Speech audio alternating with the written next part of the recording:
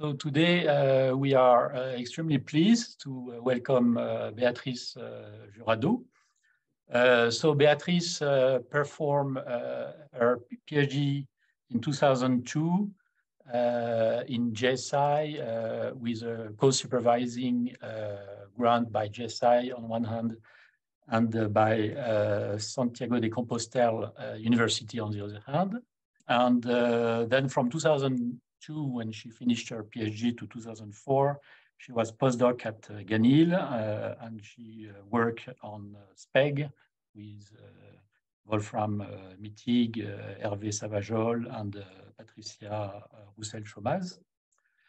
Uh, and in 2004, she uh, got hired at uh, CNRS as chargée de recherche, and she's working since in Bordeaux in the laboratory that which used to be called the CENBG and is now LP2I.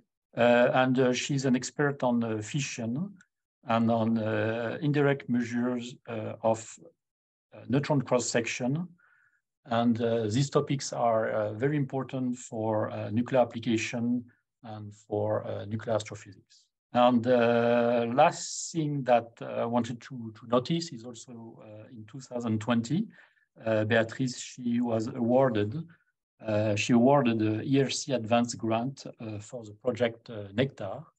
and I think most of um, the things that you will present will be are, are, based on, on this project Nectar. Thank you again, Beatrice, and now the mic is yours. Thank you very much Jerome, for uh, the presentation and for the invitation to present um, this work. Yeah, so as uh, Jérôme said, most of what I'm going to say is, um, has been obtained within this uh, my grant, my ERC grant. So uh, the title of the talk is Nuclear Reactions at Heavy Ion Storage Rings. I will give a rather uh, large introduction into nuclear reactions, in particular the ones we are interested in, uh, neutron-induced reactions and the indirect method we propose to use to get them, the, the cross sections. And I will also make a rather basic introduction to heavy ion storage rings because they are rather unique um, instruments and not very well known. Okay, so uh, let's start with uh, the neutron-induced reactions. These are the reactions we are interested in, and we are interested in an energy re regime below few MeV. Few MeV. Uh, this is the neutron incident energy. So here is very schematically how such a reaction occurs. You have a neutron beam impinging on a target nucleus A. And after the neutron capture, you form an excited nucleus A plus one that can decay in different ways. Here you see the decay channels that are uh, available. Uh, the nucleus can uh, release the excitation energies by emitting gamma rays, a, a cascade of gamma rays down to the ground state by emitting a neutron or by fission. And uh, the way we understand this type of reactions in these energies has been, is has been essentially a two-step process with uh, the first step being the formation of this nucleus A plus one, this excited nucleus A plus one, and a second step that is independent from the first one being the decay, the, the excitation.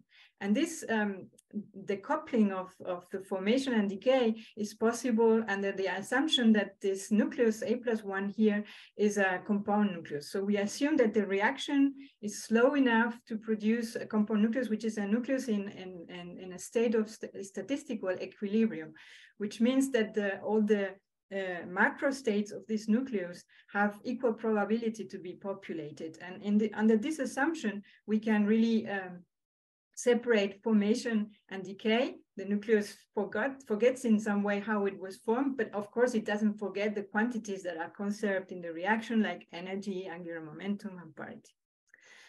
Okay, now we are interested in a particular type of uh, neutron-induced reactions are those involving um, radioactive target nuclei as shown here. Uh, this the cross sections for this type of reactions are very important in different domains like astrophysics, energy production, and medicine. So I would like to insist a little bit more on the um, astrophysic interest of these uh, reaction cross sections. So these neutron-induced reaction cross sections are very important for understanding how the heaviest elements uh, we have in our universe are formed via the S and the R process. So in this chart of nuclei, You see here in this red arrow shows the path for the S process, which is a process that occurs in environments where the density of neutrons is, is relatively uh, not, not very high. And so starting from a seed nucleus, this nucleus can capture one or two neutrons and then beta decays. And in this way, slowly we climb up over the S process path until the end, which is around lead or bismuth. This process cannot explain the origin of heavy elements that we um, that we have on Earth, like uranium or thorium, to, to produce these elements, we need another process, which is the R process. In this environment, in this, uh, in this process occurs in an environment with a very high density of neutrons, huge density of neutrons, so that the seed nuclei can capture many neutrons in a row, like tens of neutrons, and, and then you produce nuclei that are very far from stability in the very close to the neutron drip line. And uh, then when the, the, when the decay, beta decay timescales are very low, then the, the, the nucleus uh, beta decays, and so the element number increases. And so in this way, we climb up over the R process path until we produce heavy neutron-rich nuclei that are very unstable against fission.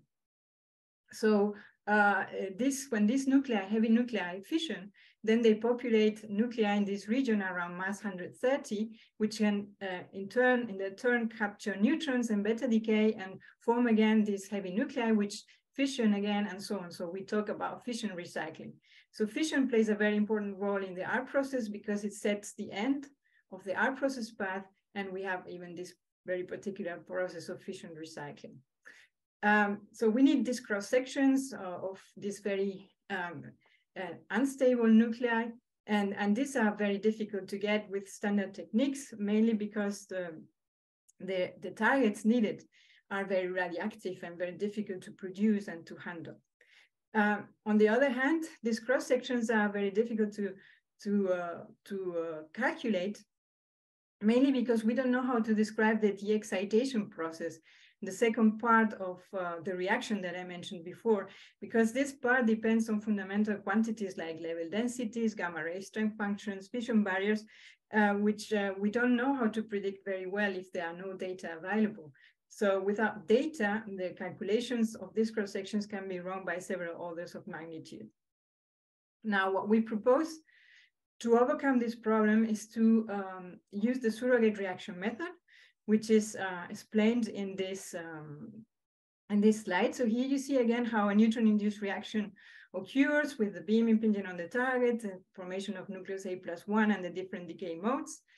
The idea of the surrogate method is that when this reaction, you cannot study it directly, you can use a surrogate or an alternative reaction that involves a light charge projectile target impinging on a sorry, projectile, um, so a light uh, charge uh, projectile nucleus impinging on a target X, and you, you produce a two-body reaction, and you choose projectile and target in a way that you form the same nucleus A plus one as in the neutron-induced reaction of interest. And you will have this other um, uh, ejectile produced in the reaction, which as you will see later, uh, plays a very important role in this method.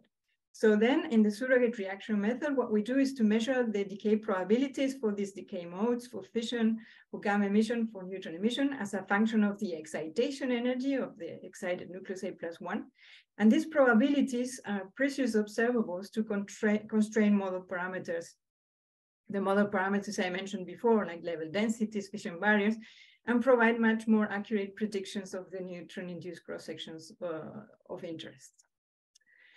So here I show you the, the result of a benchmark experiment we did to check the validity of this method because we have been studying the surrogate reaction method since already quite some years. So in this benchmark experiment, we used this surrogate reaction. We had a alpha beam impinging on a 240 plutonium target and the reaction, the surrogate reaction was inelastic scattering.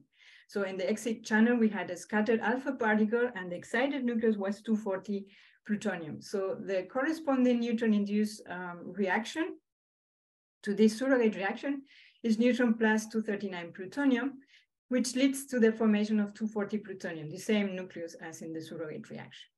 here you see the results, what we measure experimentally, the decay probabilities of 240 plutonium as a function of its excitation energy. So here, this uh, dotted line is the neutron separation energy of 240 plutonium. And the red data represent the gamma emission probability. In blue, we have the fission probability. So you can see at the lowest excitation energies, the nucleus can only decay by emitting a cascade of gamma rays. So the gamma emission probability is one. And as the excitation energy increases, fission sets in and starts to compete with, with gamma emission. Therefore, gamma emission starts to decrease while fission increases. And then we reach the neutron separation energy where you see that the neutron emission, the fission, um, the fission probability starts to decrease again. And also the gamma emission probability decreases. And this is because above the neutron separation threshold, neutron emission competes also, is open for the nucleus to de-excite and competes with gamma and, and fission. And so the two probabilities decrease. But below the neutron separation energy, the two only probabilities of the nucleus to de-excite, the two only decay channels for the nucleus to de-excite are gamma and, and, and fission, and therefore the sum of the two probabilities has to be equal to one. And this is indeed what our data show. Here in black, you have uh, the, the sum of the two probabilities, these are these black, dot, black dots, and you can see that the, the, the, they are uh, very well compatible with a value of one. So this was the first time that these two probabilities were measured simultaneously. And the fact that the sum, sum of the two probabilities below the neutron separation energy is one was very important for us to see this because it uh, validates the experimental method to obtain the probabilities. In addition, I would like to stress that uh, this type of reactions are the only way to study the fission threshold of nuclei like this, like two plutonium, two, plutonium 240, because plutonium 240 is a fissile nucleus whose barrier is lower than the neutron separation energy. So you cannot access to the fission threshold here of this nucleus with a neutron reaction with a neutron-induced reaction because the neutron-induced reaction would lead you to excitation energies above the neutron separation energy. So you cannot explore this fission threshold, which provides fundamental information like the fission barriers. Now, as I mentioned, in the surrogate reaction method, what we do is to use the decay probabilities to infer fundamental parameters that describe the de-excitation process. So this is how we do it. So the decay probabilities can be described with this expression here, where you see we have two terms.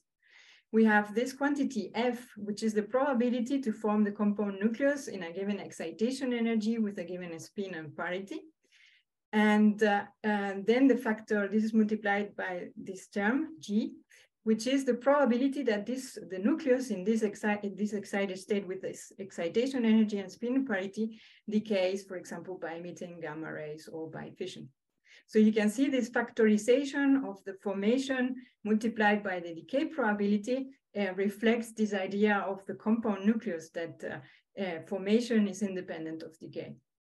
Of course, in a nuclear reaction, you do not, do not only populate one specific spin, you populate a distribution of spin and parity. So you have to sum this, um, these terms over the, the spin and parities that are populated. No, so what we did is to calculate these terms, you will see. So we calculated um, the, the, the formation probabilities this uh, for this reaction in elastic scattering on, of alphas on plutonium 40. So this is nothing but calculating the spin and parity distributions that are populated in this reaction. This was done by Marc Dupuis from CEA DAM. And you can see here one example of spin parity distribution at an excitation energy near the neutron separation threshold of 240 plutonium. You can see in red are the uh, positive parities um, and in, in blue the negative parities, and you can see the spins which are around five or six. Now, for the quantities G, what we use is to use the framework of the statistical model of the TALYS code.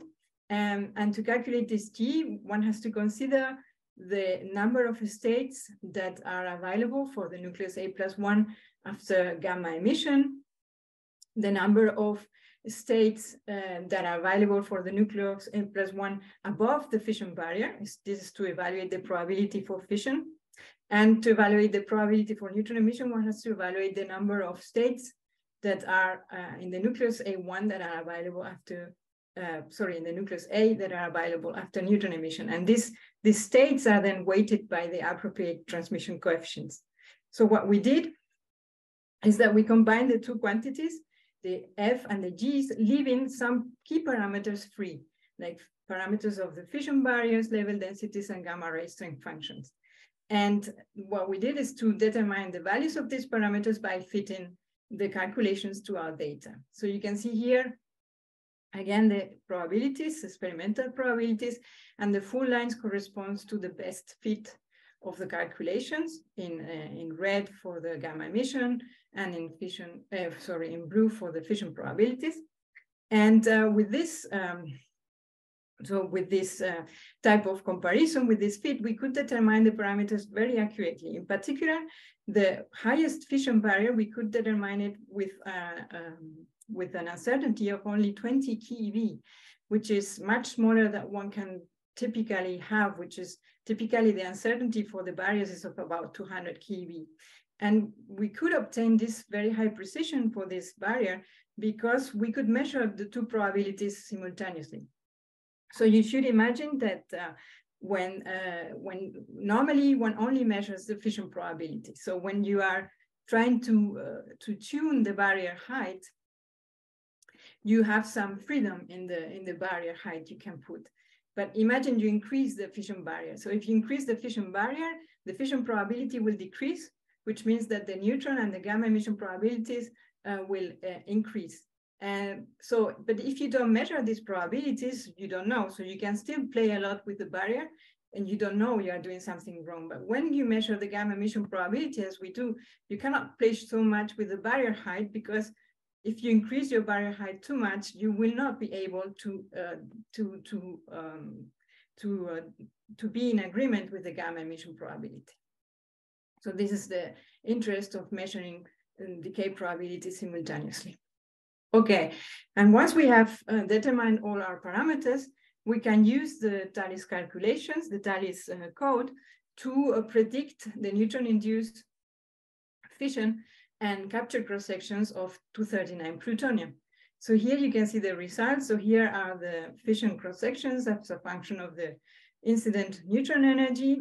Our data are represented by the full line and the shaded area uh, corresponds to the uncertainty. And our, our results are compared with directly measured data by Tovesson and Hill, and with the evaluations, which are the colored lines that represent all the available neutron-induced data. You can see that the agreement is quite satisfactory.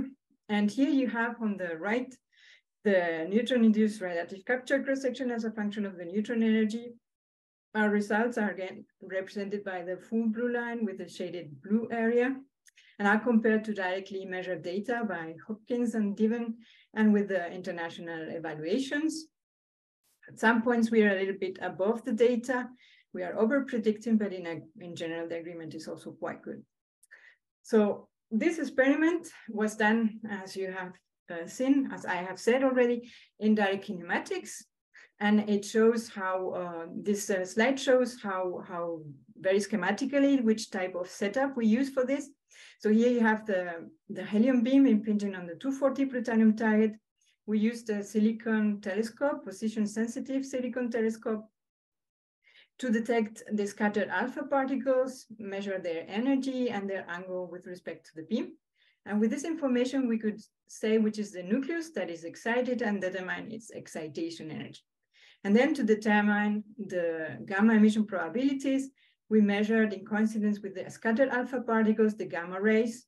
And to measure the fission probabilities, we measure in coincidence with the scattered alpha particles, the fission fragments. So to obtain the, the decay probabilities, what we do is to uh, do the ratio between the coincidence, gamma rays, alpha particles, or fission fragments, alpha particles, divided by all by the total number of alpha particles. And this ratio, we have to correct it with the efficiency for detecting gamma rays or fission fragments. Now, this method of uh, measuring decay probabilities has many limitations. Uh, first of all, if you want to go really radioactive, um, you have to, you need uh, radioactive targets, which, uh, as I said before, is very difficult to, to have, to produce and to handle. In addition, targets are normally, the, the, the material, the radioactive material is deposited on, on supports and often has um, also um, contaminants like oxygen, oxygen, which is very, very difficult to, to avoid and this, the fact that we have contaminants and and and and and and, and support uh, induces a big uh, background because your beam also will interact with these contaminants, and this background is very difficult to or impossible to remove and creates important systematic uncertainties. In addition, the gamma emission probability has, has large uncertainties in uh, statistical uncertainties because the, efficiency for detecting gamma rays is generally very low. We have a few percent efficiency. And we would like to measure neutron emission probability. This would be very interesting, but it's very difficult to measure this quantity because you have to detect neutrons of very low energy and determine their efficiency very accurately. And this is uh, very, very difficult, so difficult that we don't uh, even try. So uh, one can solve many of these limitations by performing the experiments in, the, in inverse kinematics. Um, first of all, one can access to very short-lived nuclei, which are accessible uh, as radioactive ion beams. This is shown here. Here you see a proton inelastic scattering reaction in inverse kinematics. So you can have this radioactive nucleus now is not at rest anymore, but is moving as a radioactive ion beam and is interacting with the light nucleus, which is, which is now at rest.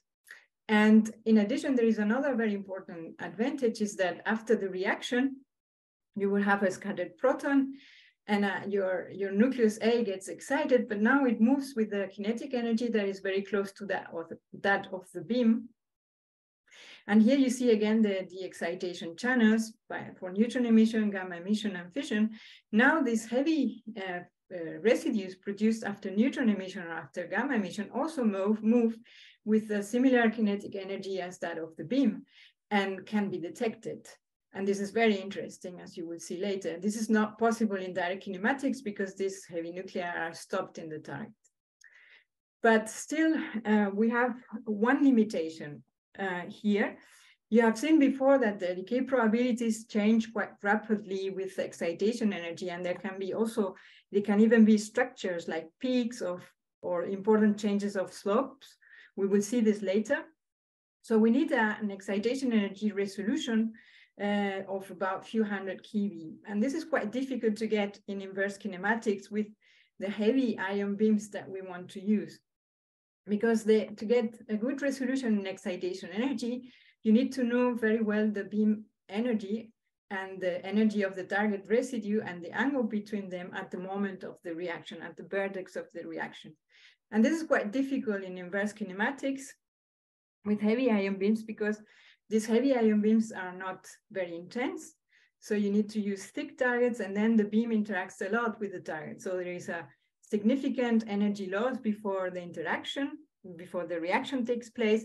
And there's also a lot of uh, energy struggling and, and angular struggling. So it's very difficult to know these quantities accurately in inverse kinematics. In addition, as I said before, we don't want target contaminants and target windows. So here's where storage rings come. So here you can see the ESR storage ring of GSI FAIR. ESR stands for experimental storage ring. As you can see, the ring is um, an ensemble of dipoles and quadrupoles um, that are arranged in the, and beam pipes, in beam pipes that are arranged in a closed geometry. This is a quite big device. It has this distance here, this diameter here is about 34 meters. And so here you can inject uh, ion beams, radioactive or stable and fully stripped ion beams can be injected here. When you inject the ions in the, in the ring, they will turn in the ring with high frequency. For example, a 10 MeV per nucleon, which is the energy we are interested in, they turn with a frequency of about one megahertz. Now, having these heavy ion beams and, and uh, with highly charged ion beams inside a ring turning is very is not easy at all because um, as they, they, these ions like to capture electrons a lot, yeah? And if they capture an electron from the residual gas, um, they will change the charge and they will move out the nominal trajectory and they will be lost. So you have to avoid as much as possible the interaction of your ion beam with the residual gas in the, in the ring, which means you have to uh, have an extremely good vacuum inside your ring. We are talking about ultra high vacuum conditions. This means that the vacuum in the ring is about 10 to the minus 11, 10 to the minus 12 millibar. This is four to five orders of magnitude less pressure than in normal nuclear physics experiments. And you can imagine how difficult it is to reach this in, in, the, in this ring, which is, as I said, rather big. But they manage, at GSI, they manage to have a very good vacuum inside, uh, inside the ring. So then you can have your ions turning, revolving inside the ring. Now, if you have your ions turning inside the ring, you can apply electron cooling. There is this device here, which is the electron cooler. And after some time of the, of the ions passing through the electron cooler, you will get a beam of outstanding quality, which means that the, the emittance of the beam is extremely low, low, which means the dispersion in momentum and, uh, and the, the angular dispersion of the beam is significantly reduced. And also the beam size is extremely low, is a few millimeters. So then you have this excellent, outstanding quality uh, beam uh, turning in your ring. And what is amazing uh, is that at GSI, they can even um, yeah, uh, use a gas jet target inside the ring, operate a gas jet target in the ring. You can imagine how complicated this is, yeah, because of course the gas will diffuse in your in your ring and spoil your vacuum. Uh, so, um, but they managed this at GSI with a very sophisticated differential pumping system. They they managed to to dump away all this gas so that even rather close to the target, you have a very very good vacuum. So with all these um, incredible possibilities, you have then a, a, a, yeah this uh, this high quality ion beam turning in your ring uh, with high frequency and interacting with uh, your your gas jet. Of course, after the interaction with the target, your beam loses some energy and gets a little bit uh, spoiled. The quality gets a little bit spoiled. But after the interaction with the target, your beam will go again through the electron cooler, which will correct for the energy loss and restore the quality of your, of your beam. So every time that the beam interacts with the target, it does, it, it does it with the same beam quality. So here you can uh, neglect all the, all the energy loss and struggling effects I mentioned before. Okay, the, the density of the target is not very high. We have about 10 to the 13 atoms per centimeter square. This is not enough to perform nuclear physics, uh, nuclear reaction, nuclear reaction experiments. The target is too thin for this, but remember, our ions are turning with a frequency of one, one megahertz. So another very beautiful aspect of the ring is that the effective target thickness is not 10 to the 13, but it is 10 to the 13 multiplied by 1 million. So there you get an effective target density that allows to make nuclear reaction experiments. So it's in some way a very nice way to have a, a thick and, and thin target at the same time. So all in all, what you will have is this high quality, pure, fully stripped beam um, uh, interacting with pure, ultra thin windowless targets. And this is unique. Of course, the price you have to pay is is dealing with the ultra high vacuum inside the ring, which makes very difficult any detector development in, in, in the ring. So we have performed uh, uh, our first proof of proof of principle experiment at the ESR in uh, rather recent, recently. This was in in uh, June uh, 22, so uh, this year, only a few months ago. So we investigated this reaction. We had a, a lead beam and we did proton inelastic scattering. So here you see again the ESR storage ring. And uh, on the top, uh, we see the part of the ring uh, where we have inserted our experimental setup. So here is the target, here is this dipole, and here is this region here after the dipole. So we had, uh, as I said, a, a, lead beam fully stripped at 30 MeV per nucleon, impinging on a hydrogen target. Um, and uh, the scattered protons were detected here with a telescope, silicon telescope located very close to the, to the, to the target.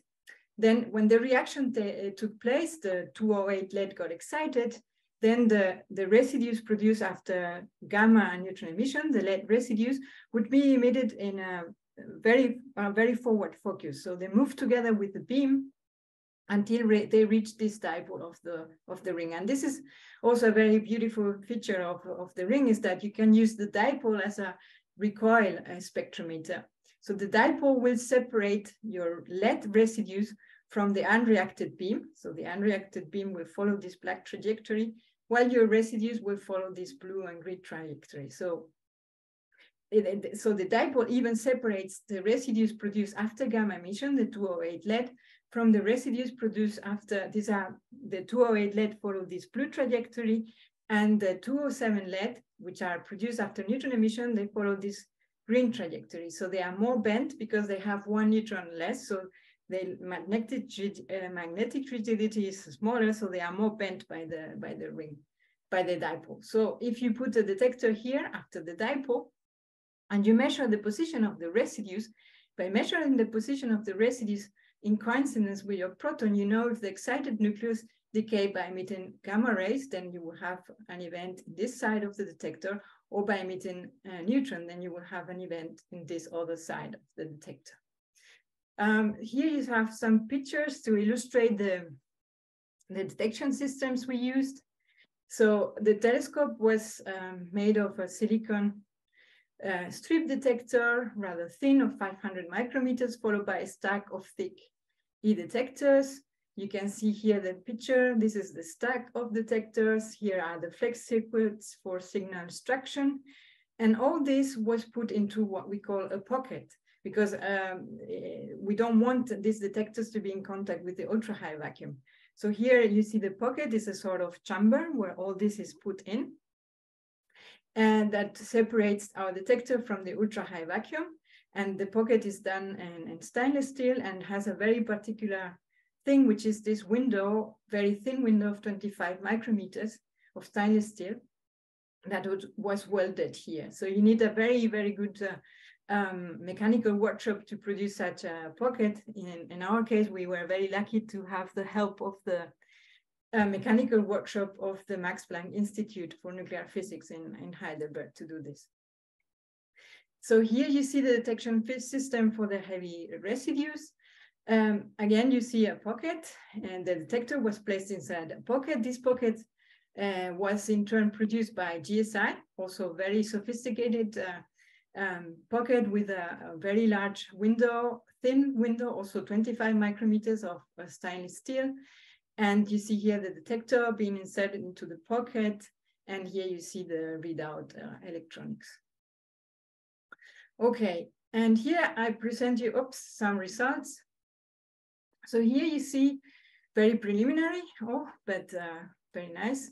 Here we have the energy loss of the protons as a function of the residual energy. This is detected in the telescope, and we see the expected uh, banana. We see um, here a very intense peak uh, that corresponds to elastic scattered protons. Um, so uh, here the 208 lead is left in the in the ground state, and this state is very interesting for us because 208 lead um, for 208 lead, the ground state is very well separated from the first excited state. So we can use the ground state to evaluate the excitation energy resolution that we can achieve. And here on the right side, we transform this proton energy. Well, this was done by our PhD student, Michele Sguazzin. He transformed the uh, energy of the protons into excitation energy of, 20, of 208 lead, and you get this peak at, at zero excitation energy as expected because it's the ground state with a width of about 600 keV. So this um, excitation energy is um, uh, dominated by the angular uncertainty of the scattered protons due to the target radius that we use in this experiment. The target radius was 2.5 millimeters. And this is what, as I said, what we expected. This is uh, confirmed here. Here we have the excitation energy resolution as a function of the target radius. And we can see that for 2.5 millimeters, the simulation, so I didn't say that, this is a simulation performed by Michele. And the simulation predicts an excitation energy of about 600 keV in agreement with what we observe experimentally. So the experimental, uh, the experiment now validates our simulations. And the simulations then tell us that if we reduce the target thickness to 0.5 or one millimeter, we will be able to have two, two between two and 300 uh, excitation energy resolution, which is outstanding for such uh, heavy beams. Now let's look at the at the beam-like residue detection. So here you see again the energy loss of function of residual energy uh, in the telescope. So these are our protons. And for the protons that, all the protons that we detected now, we look at the position of the heavy residues in the, in the detector. And as you can see, so here's the horizontal position. We see here vertical position, we can see as expected two bumps. And this bump here, um, uh, well, the, the, beam is around zero in this scale, yeah? So the beam would be coming here. So the, the bump that is closest to the beam uh, corresponds to the peak where we have the 208 lead produced after gamma emission. And uh, the peak here, or more to the right, more separated from the beam, is the peak corresponding to uh, 207 lead. The, these are the residues produced after neutron emission. So we have a very clean spectrum and, and, and a full separation of the two of the two uh, residues. So this is very nice. And you can see here uh, the efficiencies. This, this was determined by Michele. For gamma emission, we have efficiencies ranging from 70 to 96%. You can see that we lose a little bit on the edge of the, of the gamma peak. We lose a little bit because we cannot get closer to the beam because, the, well, for then the, the detector will get spoiled but still the, the efficiency is, is huge, is quite, is great compared to what we can have in direct kinematics. I mentioned that in direct kinematics, we have a few percent, four, five percent. So the, the gain is enormous. And it's even larger for neutron emission, which we cannot detect in, in, in direct kinematics, where the efficiency is 100%. Okay, and now here you see again the the proton uh, histogram, uh, energy loss function of residual energy. And uh, when we are changing the proton energy, when the proton energy is decreasing, uh, we are actually increasing the excitation energy of the uh, excited 208 nucleus. So if we get consider beams of, of proton energy or beams of excitation energy, we can see how this uh, heavy residue position uh, histograms change with the excitation energy. So here you see the position uh, of the residues uh, for excitation energies below the neutron separation energy. Then we only see the gamma emission peak because the nucleus can only decay by emitting gamma rays.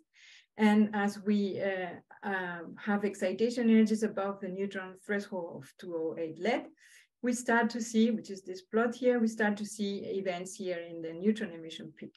And we see that as we increase the excitation energy, we see there are more and more events in the neutron emission peak until at the highest excitation energies that we populate, about 9 MeV, we see that the neutron emission peak becomes the most intense peak. And here you have now, these are very preliminary results. Uh, the Michele made this, uh, this uh, histogram just a few days ago. This is the neutron emission probability uh, obtained in this, uh, in this reaction. It is the first time that this probability has been measured.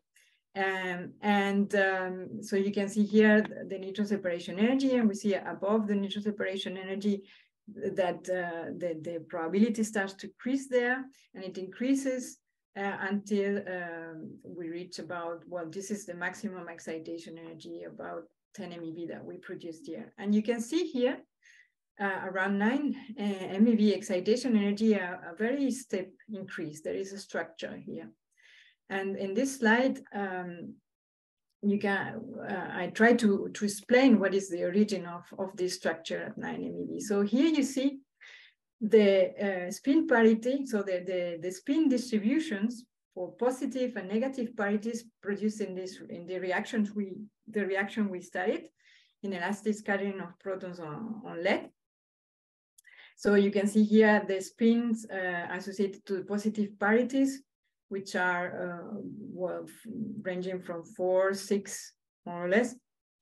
And for the negative parities, the spin is a, a we see a, a, clear peak around seven uh, for the for the spin. And this these are calculations done again by, by Marc Dupuis.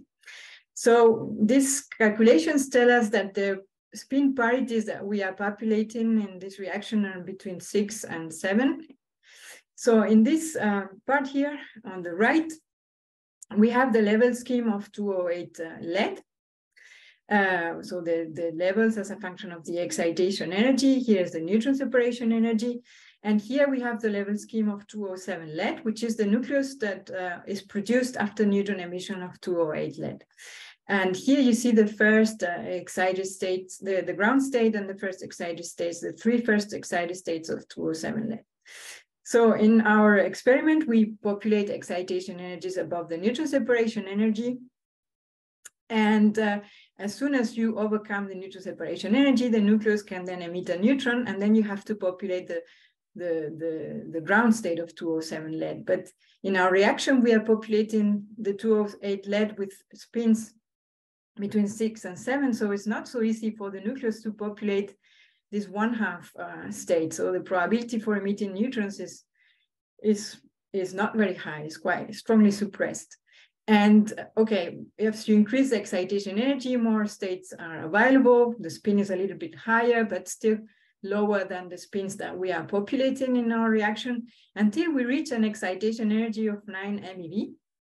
Here we have a state 13 half, so it's 6.5, which is quite close to the 6, 7 H bar that we are populating in our reaction. So for the nucleus, it's quite easy to go to this state at 9 excitation and uh, 9 MeV excitation energy. So this is why we see this, this clear bump here.